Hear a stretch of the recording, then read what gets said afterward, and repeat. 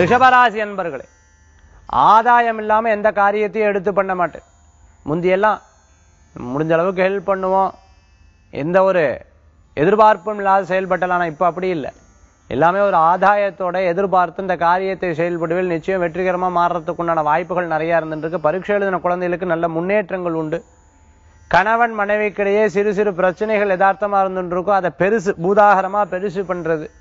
இவா இப்படி சொல்லிட்டா அவ அப்படி சொல்லிட்டா. சின்ன விஷயத்த பூதாகரமா பெருசு பண்ணுறதை தவிர்த்துக்கிறது நல்லது. யாரேனும் இல்லாத பொழுது அவளை பற்றி பேசுறதும் தவிர்த்துக்கிறது நல்லது. தொழில் ரீதியாக தொழில் ரீதியான உதவிகள் கேட்டவாளுக்கு முடிஞ்ச அளவுக்கு உதவிகள் பண்ணுவேன். அதே சமயத்தில் பண ரீதியான உதவிகள் பண்ணும்போது ஒன்றுக்கு ரெண்டு முறை கவனித்து கொண்டு பண்ணுறது நல்லது. புதிய வாகனங்கள் வாங்கக்கூடிய யோகங்கள் பெற முடியும். குலதெய்வ வழிபாடு இஷ்ட தெய்வ வழிபாடு பரிகார வழிபாடு போன்ற வழிபாடுகள் இன்றைய தினத்தில் எண்ணங்கள் போய் அதுக்குண்டான செயல்பாடுகளும் உண்டு. ரிஷபராசி என்பவர்களுக்கு இரும்பு சம்பந்தமான உத்தியோகம் பண்ணிட்டு இருக்கிறவர்களுக்கு நல்ல முன்னேற்றங்கள் உண்டு.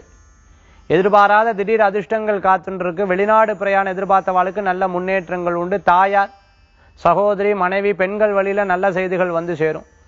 ரிஷபராசி என்பவர்களுக்கு அதிர்ஷ்டம் தரக்கூடிய அற்புதமான எண் ஆறு நிறம். வெண்மை வழிபாட்டுக்குண்டான தெய்வம் மகத்துவம் வாய்ந்த குலதெய்வ வழிபாடு வெற்றி தரும் அற்புத வழிபாடு.